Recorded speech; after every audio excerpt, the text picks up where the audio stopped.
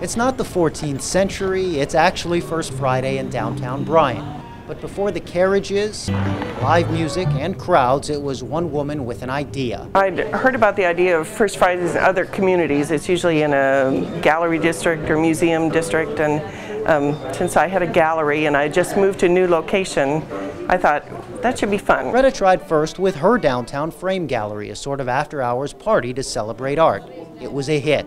So by July 2006, the concept was born. It took off pretty quick, so other businesses wanted to stay open and participate and invited artists and art groups along the way to participate. Now this may seem chaotic to some, but it's actually exactly what Greta envisioned when she came up with the concept of First Friday nearly six years ago. There's so much uh, beauty and culture and art down here and uh, it's just wonderful to come down and see the talents of a lot of the artists in downtown. Downtown has come a long way. The city says since 2006, downtown's market value increased almost $44 million, or by 54%, which may not be directly related to First Friday, but it couldn't hurt. It's pretty phenomenal. Obviously, the city has put a lot of money into downtown, and I think it's really paying off. Paying off for Greta and other downtown businesses as well as artists in the Brazos Valley.